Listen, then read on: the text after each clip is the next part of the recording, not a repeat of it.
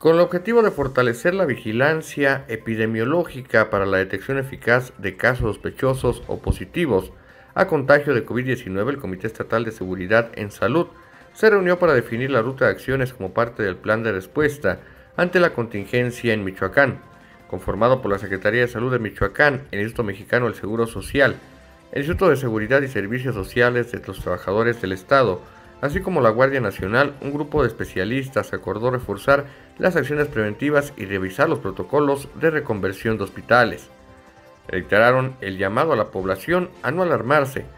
al mismo tiempo que exhortaron a practicar el lavado de manos, estornudar en el ángulo interno del codo y acudir a su centro de salud más cercano en caso de que una persona de cualquier edad presente fiebre o enfermedad respiratoria aguda. Asimismo, la población con mayor vulnerabilidad de contagio por registrar enfermedades crónico-degenerativas, inmunosuprimidos, embarazadas y adultos mayores, tendrán atención focalizada para determinar con la mayor rapidez posible algún caso probable para su estudio en el Laboratorio Estatal de Salud Pública. También exhortaron a que la medida de suspender clases por parte de las autoridades estatales no se tome como vacaciones extensivas, toda vez que la exposición en lugares concurridos incrementa el riesgo de contagio.